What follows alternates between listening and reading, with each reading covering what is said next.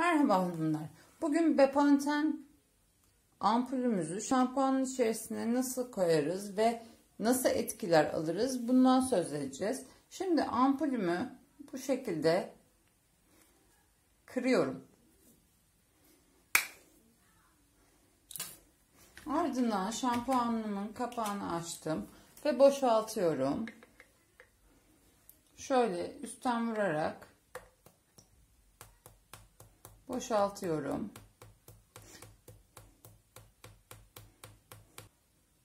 Bir kutu şampuanın içerisine bir tüp Bepanten vitamin boşaltmanız yeterli. Ardından şampuanımın kapağını kapatıyorum.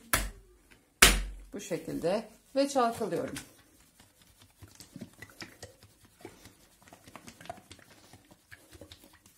Şimdi bu içerisine koyduğum Bepanten sayesinde saç köklerinizin daha canlı olduğunu, saçlarınızın kopmasının, erken kopmasının önlendiğini, onun dışında saç ve cilt problemlerini e, etkili olduğunu görebilirsiniz. Birçok faydası var.